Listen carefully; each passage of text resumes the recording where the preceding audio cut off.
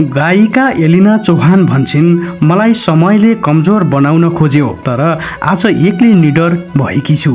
नमस्कार म तेजेन्द्र तपाईँ गामबेसी अपडेट हेर्दै हुनुहुन्छ। गायिका एलिना चौहान पछिल्लो समय एक अन्तर्वार्ताले चर्चामा छिन्। युट्युबमा उनले गत साता दिएको अन्तर्वार्तामा जीवनको सङ्घर्ष र निराशाबारे कुरा गरेकी थिइन्। यो अन्तर्वार्ता पछि प्रशंसकले उनलाई हरेस नखान र बलियो हुन सुझाव पनि दिएका छन्। साथै उनी उक्त अन्तर्वार्तामा क्रुद पनि सुनिएकी थिइन्। यस्तोमा पछिल्लो समयकी हिट गायिकाले बिहिबार फेसबुकमा एक खुल्ला पत्र लेख्दै प्रशंसकलाई सम्बोधन गरेकी छन्। साथै आफूले नियत बसले कसैलाई आक्रमण गर्न नखोजेको भन्दै माफी समेत मागेकी छन्।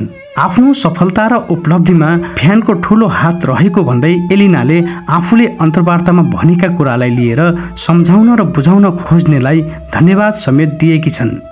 उक्त अन्तर्वार्तामा भनेका कुरालाई लिएर उनले फ्यानलाई सम्बोधन गर्दै एलिना लेख्छिन् यो नितान्त मेरो भोगाईको पाटो थियो जसलाई सुनेर यस क्षेत्रमा आउने आगन्तुकले पहिले नै आफूभित्र यी कुराहरूको विकास गरेर आउनु पर्नेछ यसलाई लिएर कसैको चित्त दुखाइ छ भने म अन्तरआत्माबाट माफी चाहन्छु। म आफै कमजोर बनेको होइन। समयले मलाई कमजोर बनाउन खोज्यो तर त्यो अवस्थाले हार खाइसकेको छ।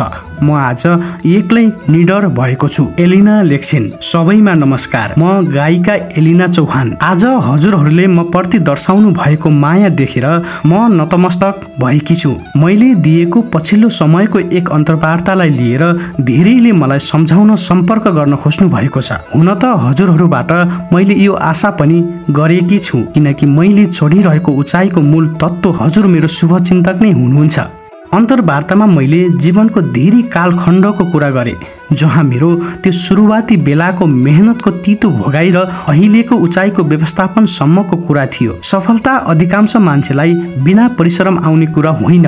कतिले मैले भन्दा अझ बढी परिश्रम गरेका होलान् त केहीले थोरै कमलो मनको मान्छे म कुराकानी गर्दै गर्दा मेरा आँखाबाट आँसु झरेछन्। म भावुक बन्न पुगेछु। हुन त मैले जे लगाउँछु जे खान्छु जे गर्छु र जे गर्नेछु ती सबै कसै न कसैका लागि प्रेरणा बनोस् भनेर सबैलाई देखाउने बानी छ मेरो। साधारण छ जीवन मेरो। ठुलो सपना नदेखि यो क्षेत्रमा छिरे र जति अगाडि बढ्दै गए त्यति नै मुस्किल बन्दै गयो। लक्ष्य भेटन अनि त्यति नै धेरै मेहनत गर्नु पर्यो। हुन त म कलाकार हुँ।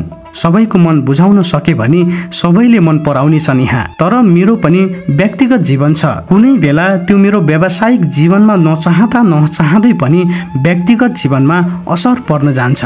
जति बेला म सानो सपना बोकेर देशको राजधानी छिरे त्यति बेलाको म भित्रको मभन्दा कयौँ गुणा ममा आत्मविश्वास र हिम्मत पलाएको छ। मेरो सपनाको सहरमा पाइला टेक्दै गर्दा सबै बिरानो थिए तर आज यहाँ मैले सबैलाई नचिने पनि अधिकांशले मलाई चिन्नुहुन्छ। वर्तमान अवस्थाभन्दा त्यो समय मलाई धेरै नै कठिन थियो। आज म जहाँ छु जुन अवस्थामा छु मलाई सहयोग गर्ने धेरै नै हुनुहुन्छ। म लड्नलाई जन्मिएकी हुँ। मर्न हजुरको मायाले दिने छैन। भोगीको दुःखले कुनै न कुनै समयमा जीवनको अर्थ नबुझ्दा त्यो सोच सैतानी दिमागमा भरिनु स्वाभाविक हो। तर मैले हार खाएको छैन।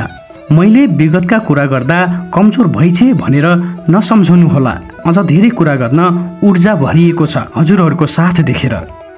आत्महत्याको कुरा गर्दै गर्दा ती मेरा कुरालाई लिएर धेरैले चिन्ता व्यक्त गर्नुभयो तर ती सबै मेरा अतीत थिए।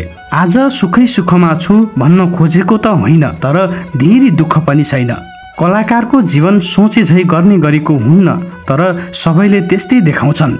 मैले जे थियो यथार्थ त्यो देखाएकी हुँ। सबैभन्दा पहिला त म मानव हुँ र आँसु रिस खुसी दुःख चिन्ता सोच यी सबै मेरा मानवीय गुण हुन्। यिनलाई मैले बिर्सन सकिनँ। यसलाई लिएर कसैले पनि चित्त नदुखाउनु होला मैले गरेका कुराहरू कसैलाई प्रहार गर्न होइन कसैप्रति रिस राखेर पनि होइन कसैसँग दुष्भाव रचेर पनि होइन र कसैलाई नराम्रो देखाउन त झन् हुँदै होइन।